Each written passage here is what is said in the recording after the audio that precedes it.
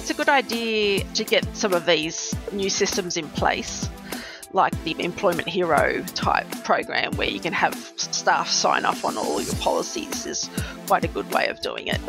But I understand for small business that sometimes they don't want to adopt these sorts of new softwares because they've got so much other software that they have to use. Welcome back to the Business Behind Your Business podcast, where we have the conversations to help your business grow and thrive. And we like to bring the experts to you to share their experience, uh, case studies, and help to help you run a great business, but help you deal with some of these situations that arise that you might not be prepared for as a business owner. Hi, I'm Paul Sweeney, your host of the Business Behind Your Business, and this is a podcast for business owners everywhere. So if you're listening for the first time, it's great to have you with us. If you're a regular listener, I'd love you to share this and, and all our other episodes with people who also would uh, benefit from hearing. This one particular is a very interesting topic that we've had brought to us, and it affects all small business owners, and it may be in ways that you might not think that it does affect you. But we're going to f- explore what these changes are and how they affect your business. So, joining me today, we've invited back one of our regulars, Paul Cripps from PK People Solutions. Paul's a licensed and experienced HR consultant helping deliver solutions for your business to help you retain your best people, improve your employee performance, and make hybrid work work for your business. So, welcome back, Paul. Thank you, Paul. Good to be back here again. And as you say, we've got an interesting topic to talk with yourself and Kylie on today. So uh, thank you for having me back. Great, thank you. And and our, our other guest today, Kylie, Kylie Maxwell from Frank Law. Now, Kylie's got a lot of experience, over 25 years working in advising medium and small sized businesses wanting to grow their businesses. Kylie advises in employment, work health and safety, compliance, and dispute management. Um, sounds That's exciting. Right. it sure is. Keeps me Uh, on my toes. Absolutely, I'm sure it does. Uh, I'm sure uh, that this what we're going to be talking about today, the topic we've got, is going to be keeping both of you on your toes for the, the coming months. So, what is that topic about, and why does it make a difference? So, we're looking at the environment in Australia. We've got small business, and small business are 0 to 19 employees, and the stat is that 42% of the employed workforce in Australia is employed by a small business. So, quite a lot of people. So, over 5 million people are employed by small business. Uh, that stat is courtesy of the Australian Small Business and Family Enterprise Ombudsman's Office. So, small business is a big employer of people in Australia. And often small business owners don't have all the resources available and may not be aware of some of the changes that are affecting them. And and I believe that these changes, there's a number of changes to industrial relations laws have come through in late 2022, in December 2022. And there's quite a lot of changes that have been introduced that have effect on small business employers. And you may not be aware of them. So, Paul and Kylie are going to help us unpack what some of those changes are, how they affect you, and what you need to be doing to make sure that you comply with the new rules. So, Paul, thanks for bringing this topic to us. Certainly, it was something that slipped through underneath the radar for a lot of small businesses. Uh, December 2022. What what has actually happened? Well, there's a lot to unpack there. It's a million dollar question. We're going to get through that in the next uh, next half an hour or so. But I think that uh, you're absolutely right. I think the timing of this coming through, I think, has probably meant that yeah, I think it has slipped under the radar. Certainly, some of my experience of you know, reaching out to existing clients, the vast majority weren't aware and weren't informed. One of the things that I've heard said on a number of occasions is probably, you know, some of the, the biggest changes that have come through since the Fair Work Act was introduced in 2009. And, and Kylie, would you would you agree with that that statement? And, and welcome to the, Paul's podcast. Thank you very much. Um, yeah, I would agree with that. There has been a, large overhaul through these changes. Yeah, I, I would say that that was pretty accurate. Yeah, and I think that awareness, I think, is a big thing. I think that uh, lack of awareness, I don't need to know about this, this should be right kind of uh, attitude I've heard a lot over the last uh, probably uh, six weeks since I really started to, to get my head into this space myself. Just technically, there are two things, aren't there? I think the colloquial name is the Respect at Work Act. That's not the full definition, is it? And then there's the other aspect of bringing in of the paid domestic violence. And they're two separate pieces of legislation, if I'm not wrong there. Yeah, that's right. Yeah, yeah. I think there's probably seven key things that I've come across. And maybe we can talk through each one of those, those Sure. seven points and we can Sure. take it from there. Um, so the first one is the paid domestic violence leave uh, that's coming. Do you want to give a bit of an overview of that first of all? Yeah, sure. So there's 10 days available for people who are experiencing domestic violence, and it's available not only to part time and full time staff, but also casuals. So I think that's the big groundbreaking kind of change that's been made there. Yeah. Mm. Yeah, I know when I first read that it include casuals as well. Um, you know, that goes against any other leaf type, isn't it? Because there isn't any That's other right. leave that a casual will be eligible for. I did read somewhere there was a, a highly complex calculation, which I wouldn't pretend to understand about how you calculate what a, a casual's entitlement would be there. Uh, we need to be very careful here when we differentiate in terms of for this leave type because for businesses of 15 or more people, Kylie. That's the number, isn't it? 15 or more? That's right, yeah. The eligibility for this leave came in as of the 1st of February this year. Uh, for businesses of 14 people and below, comes in from the 1st of August this year. Um, right. So we just need to be careful in terms of the definitions there. I find some businesses get a little bit caught out by that as well about who to count and who not to count, particularly sometimes when there are businesses of that are actually got overseas entities and how do you count how to be Australia and casuals and stuff like that. I know there is a definition of small business code, isn't there, that, that really covers all that. That's right. Yeah, that's right. And what you're really looking for with casuals is casuals that are regular and systematic in their approach to work. So you've got to you count those basically. Yep. That's good. Yeah. But I do come across some people that perhaps just even employ one or two people that just think they have a complete exemption from any of this. And that is not true. this applies to anybody, even if they just employ one casual. So the domestic violence leave, I'm seeing this as a new provision, completely new, whereas some of the other items have been modified. But um, can we just go through what exactly is covered under this domestic violence leave and in what circumstances might um, somebody be entitled to it. Yeah, I, I, Kylie, do you want to kick off on that one, or do you want me to kick off? Oh, you can kick off on that one. Yeah, well, one of the questions I've been asked by more than one client in terms of, okay, should this unfortunate situation arise, what do I ask for in terms of, uh, or do I have the right to ask for some form of evidence? There is some guidance on that, which I think will evolve over time. But you are entitled to request some evidence, you know, whether that be down to reports from lawyers, police, the like. And at the moment, any other any document that the employer might seem reasonable kind of wording thrown in there as well, which is about the R word, the reasonable word.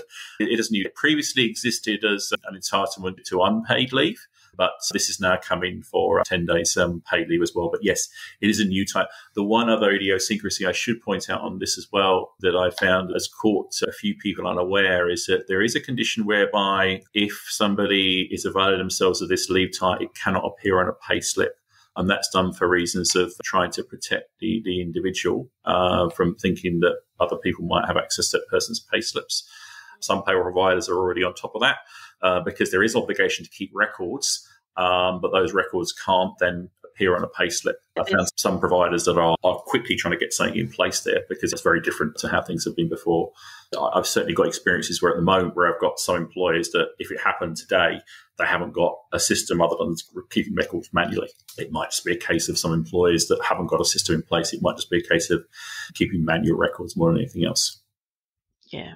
So there's going to be some changes to systems, particularly around payroll and em- employee records. Given the I guess the stealth mode in which some of these laws have come through, would it be fair to say that some of the vendors in the payroll and HR space are really catching up and yet to provide solutions? Look, I think that's fair comment, Paul. And I said to one of my clients uh, probably about three or four weeks ago, and they were a little bit perplexed why their payroll provider hadn't caught up. And I said, well, to be fair on them, they haven't had a lot of time to build something. Uh, some providers were already there. Uh, some managed to put things in place and program their systems in such a way that it's there straight away. Others have been playing catch up, and uh, my main concern at the moment uh, is actually just uh, you know reaching out to people I know and asking my client, who is your payroll provider? And do you know what system they've got in place to be able to handle this? And have they got a system? And the worst one is, are they aware of it? so I haven't come across a client as yet that's got a payroll provider that isn't aware of it. But I think that in a lot of cases, it's going to be a situation whereby it might be easier for manual records to be kept until there is a better system in place. Agreed. So, Kylie, I've got my risk hat on here, and the alarm bells are starting to ring in my head about some of the extra risks that an employer, particularly, is exposed to here. Not just in terms of, I guess, protecting the uh, employees' uh, personal circumstances, but how they maintain and protect uh, the privacy around documents and who has access to those. And do we know uh, what kind of, I guess, obligations are on employers and the penalties for non-compliance? In terms of the privacy, you mean? Mm, well, I think privacy is probably the, the big focus area that comes to mind. Yes. I think it's meant to be that they manage it in the same way that they do under the Privacy Act. So the penalties are just the same penalties that there were under the Privacy Act for that. So there's some obligations, I think, for employers to make sure you are aware of that. And I, look, if we polled a lot of small business employers at the moment, I would say that the large majority would be I guess, ignorant of their obligations under the Privacy Act. Would that be a fair comment?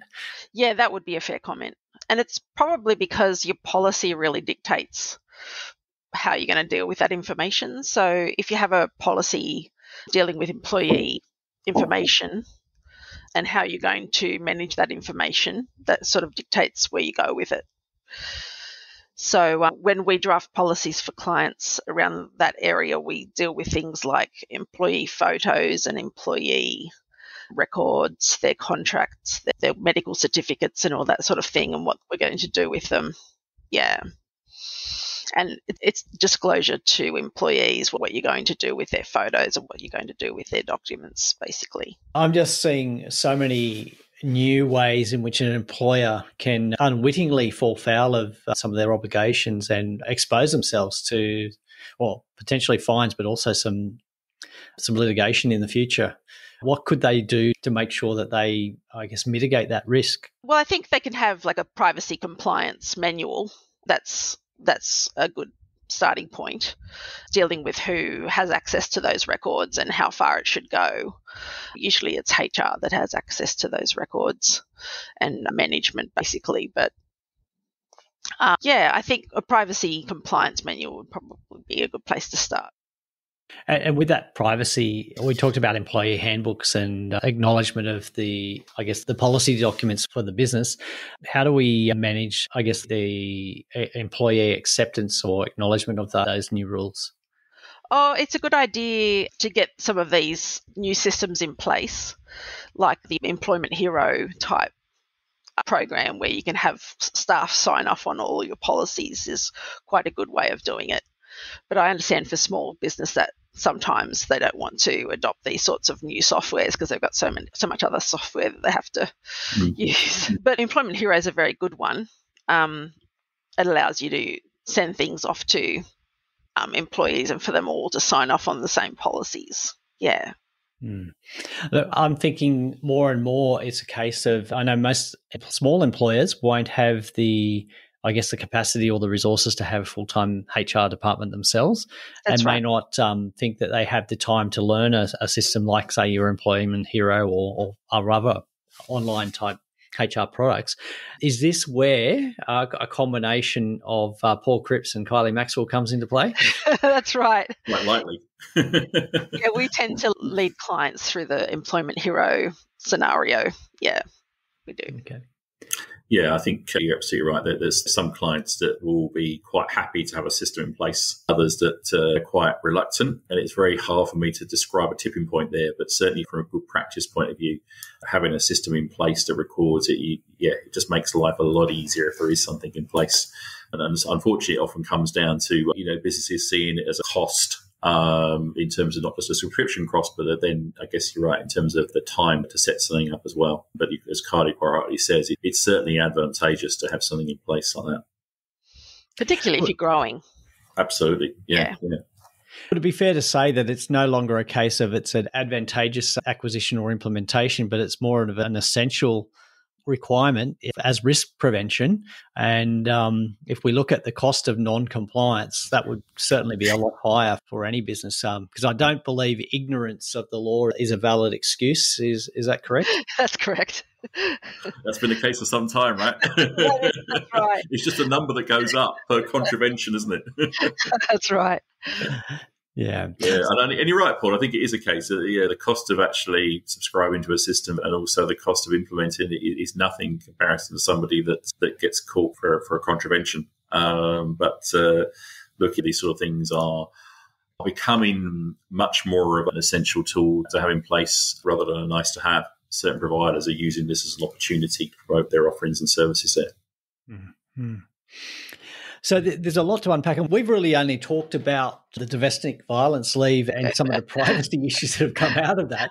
Um, so there's quite a lot in here, and I think we probably wouldn't be giving them justice. But I think we need to mention. There's, there's um, some, yeah, there's, there's, some I think we'll probably fit. There are some probably more straightforward than others. Yeah. If, if is prepared as well, I think we'll have a we'll have a good go of covering as much as we can in the remaining time. Okay. Well, let's get stuck into it because I think, like I said, ignorance is no longer an excuse. Let's remove the ignorance and inform our listeners. Can I go for number two, pay secrecy?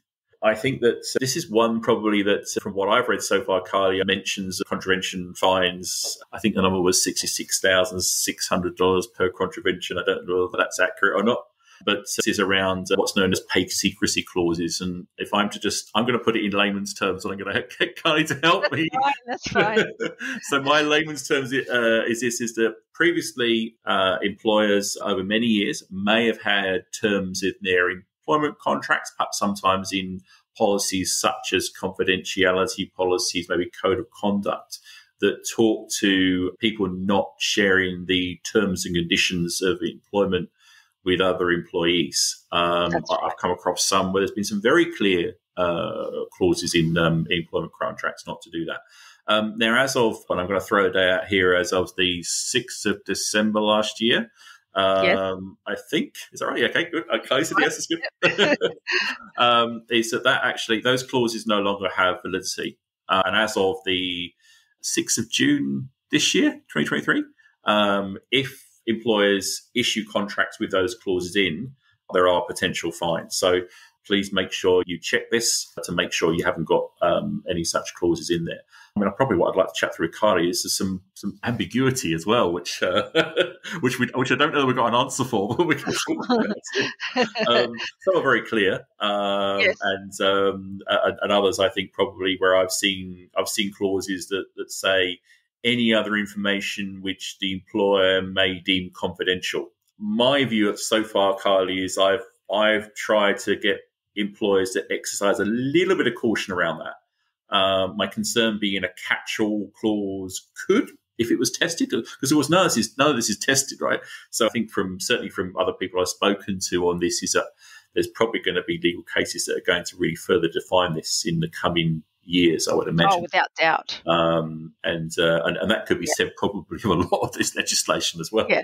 Um, but uh, certainly this is this is one. Uh, Kylie, just generally, obviously, I've talked in layman terms. I'm happy for you to expand a bit further for our listeners as well. Pay secrecy clauses. I mean, I've drafted them. They're in lots of contracts, and they just basically prevent staff from finding out the, the basis for their pay they're deemed oppressive by this legislation and therefore they're now invalid. Yeah, you're not to have them in your contracts anymore. Yeah. And that's contracts as well as policies, Kylie? That, that, is that your That's right, yeah, yeah, policies as well. Yeah, yeah. So basically, anything that you're putting into your contracts now is basically saying that staff have the ability to share information about their terms and conditions of their employment. Mm.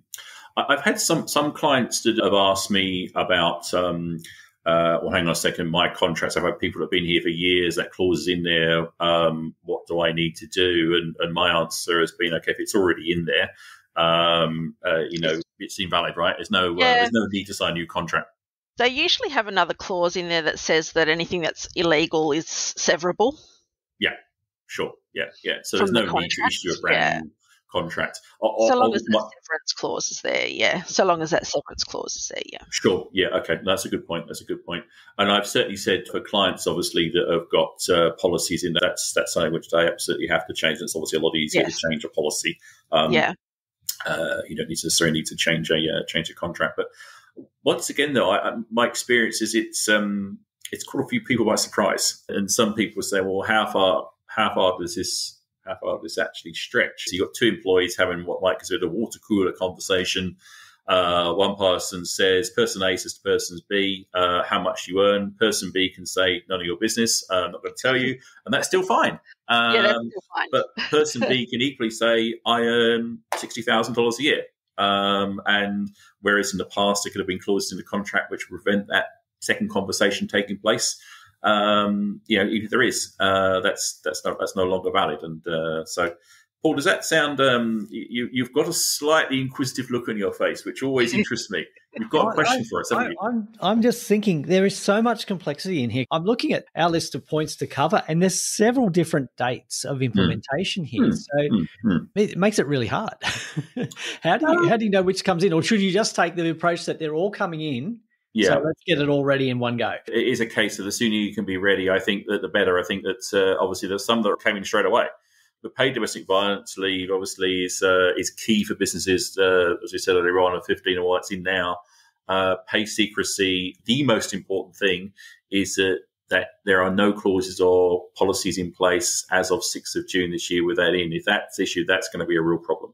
That's the biggest. If there's one takeaway or two takeaways those are the key ones. I mean, some of the others are really important as well, and there are some different dates. I think it could well be that we might need to do a part two to go through stuff later in the year, but that's uh, that's that's absolutely fine.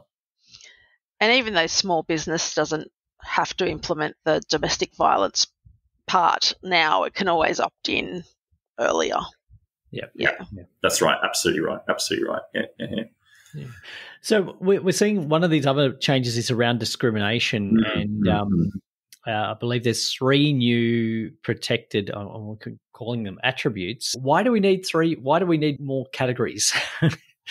there are three new uh, extra definitions. Generally speaking, my experience, Carl, is a lot of businesses already have a policy, and I found some policies I reviewed already have these three other attributes in their policy already anyway. So I guess when yes. they've been drafted, they may have been future proof. So the three that have come in are gender identity, intersex status, and breastfeeding are the three attributes that have come in as part of these uh, these changes. And as I say, for some clients, actually, to be absolutely honest, I've yet to review a client's policy as yet that hasn't already got those in anyway. Um, yes. But um, but it's but yeah, there are the ones that need to need to come in. But now it's official. Exactly, exactly right. Yeah, yeah. Now they legally have to be in there. It's just a case yes. of just uh, it's probably a, a tidying up and updating where there's some some businesses that haven't had it in place. Yes, that's right. Yes. This next one's got me a little bit puzzled in terms of how this legislation actually extends, and maybe if you guys can explain the extension that we that we talked about off air. Yeah, no, that's fair enough. I think that um, you know there's all, there's always been an obligation for employers for, for a number of years now to have processes in place to prevent sexual harassment taking place within the workplace. Um, this is really, in some cases, an, an extension of that. Um, you know, we've had stop bullying orders in place in, in the past. Uh, there's processes coming in place now to have stop sexual harassment um, orders that can be. So it actually gives him one thing it does. It gives an employee potentially that if it can't be handled or if it hasn't been handled to their satisfaction internally, it gives um, yeah it gives employers uh, an avenue externally as, as well. The second part, which is the stretch definition, is that it, equally applies to um, uh, to sexual harassment that may may not be. Well, it's not going to be. Not, this is talking more than just employee to employee or, or someone internal. This is talking about for someone that might be external. So it could be uh, it could be a customer. Um, yeah. It could be a supplier. Yeah, it could be anybody the employee comes into in the workplace. Um, so, so there's really an extension extension of that definition. I'm going to pause there because I've said too much. And Kylie, did I say anything that was incriminating there, please? no, that's perfectly fine. Um, there's also the distinction between sexual harassment and sex based harassment that's become clear in this legislation, and that's where someone might use a derogatory term in their dealings with somebody of the opposite sex. Yeah. Okay. Okay. No, that's good. That's good. And, and look, I think it's fair to say I, have I've read a few things on this and heard a few things like Kylie. Is that there's a little bit of uh, there's a lot of grey here as well. Um, I think that uh, you know in terms of so what what should what should um, uh, you know what should employer do? What action should employer take? Um, uh, obviously we talked off air, and I think myself and Kylie are on the, the same the same view that um, educating people um, on this topic, um, and uh, you know, and, and, I certainly work with employers. They might actually go and educate, you know, in terms of bullying and harassment, um, you know, and sexual harassment at the same time. But educating uh, on the topic is something which is uh, which which is important um, making yeah. it real, re- make it relevant to legislation. I've already worked with some clients to and, and make sure there is um, uh, there is continuing education, and, and, often that might be by by Zoom or face to face. I think just getting people just to tick a box and sign off to a policy on this one. Uh, my personal view is that um, that's something in the past having the face to face or Zoom education has been a nice to have. I think that's becoming more of an essential um, yeah. to, to do that. Um, yeah, it should be part of your induction. It should be part of a refresher. Yeah. Um, I'm not sure how often that refresher really needs to take place. It probably, probably, probably it's annual. I would say. Yeah. No, um, I agree. It's funny to that, Kylie. I, have talked for a few years now about uh, a concept of orientation and a concept of reorientation. Um, yes and, and that reorientation, um, I often suggest, um, you know, annually is good. I mean, I've got some yeah. clients that prefer to do it biannually, um, but it at least gives them a um, an update and a refresher. Um, yes. And if things go wrong, um, I mean, they sound like very dry sessions, don't they? Uh, but I promise yeah. you, they can be made more exciting. uh, and, and, and, to be honest, I, have had some clients that have used that as an opportunity to, um, yes, they go through the things which are compliance related, but then they draw other things as well, and whether that to be to do with engagement results, whether that be to do with, you know, uh, promoting what staff benefits they have, just to make sure it's not just a, a completely dry session. Mm. Um, but uh, but those sort of things are, uh, I think, becoming more important to have in place. So, so what would be, Kylie? What would be the, I guess, legislated requirements in terms of educating employees on the new rules or even existing sexual harassment rules? I don't think there is a legislative requirement in, in, relation to education, but when you when you come to the court system, you'll find that judges will require some form of due diligence by the company.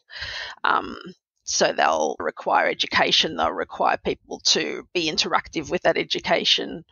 Um, they'll require policies to be signed, and yeah, for there to be policies in the first place. Yeah, I think it's one of those things that, um, like we said earlier on, the, there'll be cases that will come up in this in the coming years, which will further define this. But um, I think at the moment, um, you know, it's it's a bit of interpretation as to what's come out here, what what might be the right kind of level of uh, you know action an employer should take, uh, and it doesn't have to be difficult. I don't like to scare clients away and say, you know, this is this going to be um, you know a long and expensive solution? It doesn't have to be a difficult process to go through that. Mm, no, it doesn't. No. We've got this next one of right to request flexible working arrangements. Now, a lot of people will say, isn't that already there? So, what changes do we have and how does it affect us? You're right, Paul. It's already there. Look, my reading of this one is that it just is extending a few definitions. It's giving some more clarity to employers. I think that um, in the past, I think that um, you know, the, the emphasis has been to, um, you know, to just give a an idea why they're going to decline a request. Um, there is more uh, definition that's gone into that. Um, and uh, and equally, what will happen here as well? There's a there's an external appeals process. So a little bit what we talked about, what's in place for you know bullying and what going in place for sexual harassment. There'll be an external appeals process um, where employers won't be happy with the um, the outcome internally. Um, I kind of sigh when I see things like this because I wonder how that's going to clog systems up uh, in terms of how long it takes to get an outcome. But yeah, we uh, it, we are where we are, right? Yeah, essentially, you're right. It is already there already. Kylie, anything else missed there? Oh, I think it's emphasising that written correspondence needs to be entered into, mm. and it needs to be something that's refused only on reasonable business grounds. So I think they're I think they're enumerated in the legislation um, what the grounds are that can be taken into account when they make a decision about flexible working arrangements. Yeah, which I think gives more clarity in terms of process and reasons. So I think that could be quite helpful because in some ways I think that um, you know it could be quite helpful that an employer um, looks at the reasons um, and at least there's a bit more a bit more clarity than perhaps wasn't wouldn't have been there in the past. Yes, um, a bit more clarity than there is in relation to reasonable additional hours, which is a, probably a topic for another podcast. Yes. Absolutely. Very good one. So, unpaid parental leave. Now, is this something additional or? This is actually um, extending current parental leave. So, it, it's once again, it's already there in terms of. Um, uh, people that take parental leave uh, at the moment are, are entitled to ask for um, for an extension uh, beyond the first period. Um, but once again, this is just given a bit of further definition and, um, and, and clarity. Now, just to be fair, uh, should, we should say, which we didn't say actually, is that this one doesn't come in until the 6th of June, um, as does the previous one about the right to request um, flexible work and the process behind that. Now, it's already there. Uh, like this is already there, but the process behind it for these two doesn't come in until um, uh, until until sixth of June. Um, so, um, but Kylie, that's my reading of that one. Uh, well, a little bit like the previous one, just a bit more clarity. Would you? Would you? A little bit more clarity. Yeah, that's right. Yeah. yeah, yeah. So I'm also curious about how this one, how the unpaid parental leave mm. ties mm. in with the use of fixed term contracts. I'm sort of thinking like in terms of when you know the positions are created by somebody going on say maternity or paternity leave. Um, you know, do they interact, or are we talking about completely different things? Um, that's a very good question, Paul. I hadn't thought about them interacting, but you're right. In some ways, they do. Um, but uh, I, I, suppose, if just in terms of um, you know the, the, fixed term contract change, um, you know there there are there are exceptions, but the, um, the the, legislation this doesn't come in. This is the last one to come in. I put down here the seventh of December. I'm thinking it could be the sixth, but anyway, it comes in in December. You know, a fixed term contract. The maximum uh, maximum length is uh, is, is will now be 24 months unless there are certain reasonable, and once again, there's definitions about what is you know, circumstances which uh, a fixed term contract can be in place more than 24 months. So, how I've seen this work in practice at the moment is that at the moment they've currently got people that have been on fixed term contracts uh, for it will be currently say say two years. Um, they can, providing that contract is renewed. I'm going to say safety here, the sixth of December rather than seventh. Um, is they can review for, uh, for, a further period before then, but after that period, any further renewals, um, unless there's good reason, um, which come under a number of exceptions as to why you could still do another fixed term contract it would be expected that person uh, would be uh, at that point in time offered a permanent role in order to uh, retain them. I think you're right. It, can interact with the other one if you've got someone that's on extended parental leave, and then yes, that can go for two years. So I I, I hadn't made that connection, Paul. So, uh, but, uh, but, it's a very very good one. Kylie, what have you seen on this one? So obviously this one's a fair way off, but um, that, that's that's my basic understanding so far. Yeah, I think your understanding is correct, and and I've already started putting these these terms in in contracts because I think it'll just creep up on us basically. Mm. Mm. Yeah, no, you're absolutely right. I mean, I, have I've I've only got two clients where this would apply to, and I'm already having the conversations because um, it's better that they know now yes. Um, as opposed to when they're having conversation with me or someone else um, next year, and all of a sudden they realise they, they can't do this anymore. So, so I think um, you know, for me, it's uh, it, you know, it's, it's putting the early um, the early signals in now to make sure people know what's uh, what's coming up later in the year. Yeah. So there's a, a lot of content in there, a lot of changes. Some some not so major, and some some a little bit more major. But I think a couple of the key things here is that uh, I'll go back to my earlier comment that ignorance is not an excuse. Mm-hmm. That you can't plead that. You do need to be aware of it, and and I think really uh, it's up to a small business owner to get advice here and get help because anytime you're trying to become a HR expert, it's taking away from running your own business. And look, people like Paul and Kylie, they've trained in this, they've advised in this, they see it every day, and they're going to do the job far better than you are. So enlist their services. And and look, there is a lot of content. The, the key dates are a bit of a, a curveball, I think. And and if we just explain why we're looking at the sixth of the month, and I think these are three, six, and 12 months after the date of uh, enactment? Yes, in most cases. It's not quite as straightforward as that because we're looking at two separate pieces of legislation. but uh, generally speaking, well, I, wonder, I, wonder, if it might be useful. Maybe myself and Kylie will work together to put a time frame through in the show notes. Um, would that help? I think that would be fantastic, a fantastic resource because there, there is a lot there and there are a lot of different moving parts. As you said, two pieces of legislation, a lot of different dates, different enactment dates for small, medium enterprises under yeah. under the definition of a small business here, which is different to the definition of a small business in many other pieces of legislation. I think that's key. And and look, training, not just training for employers, but training for your employees. Mm. We're going to see a greater emphasis on the need for that. And as Kylie mentioned, being able to demonstrate that you have informed your employees and that they have undertaken training will be even more important. Hopefully, it won't affect your business. Hopefully, you will not be in this situation. But when it does come before the courts and it's tested, I think if you've demonstrated you've shown that you have trained and put people through an education process, I think you'll be mm. better mm. positioned. Um, yes. Good. I'm glad Kylie agrees. Agreed. Absolutely. Absolutely. I agreed with what I said before. Yes. very, very good.